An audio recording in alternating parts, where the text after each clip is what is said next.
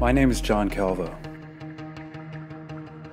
Some people spend their entire lives trying to fulfill a lifelong dream.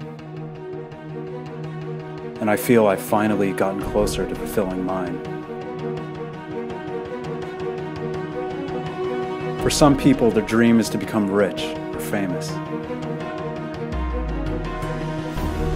My dream was simple. Ever since I was a little kid, my dream has always been to lose weight and become fit. I was a big guy all my life, and on April 2010, at 5 foot 5 inches, I reached my highest weight of 340 pounds. I tried losing weight dozens of times since I was 7 years old, but each time ended in failure. No matter what, though, this time I wasn't going to quit. I began dedicating my entire being to achieving my dream. And I've now lost over 175 pounds.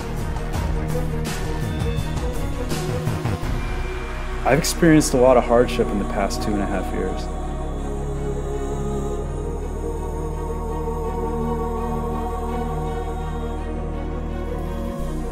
I was ridiculed on a regular basis.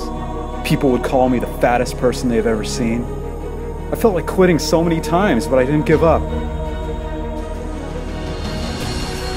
You see, there's one thing you should know about me.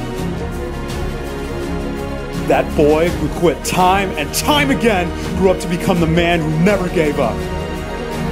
Because I don't just have willpower, I am willpower. And I'm proud to say that there is nothing in this world that can stop me.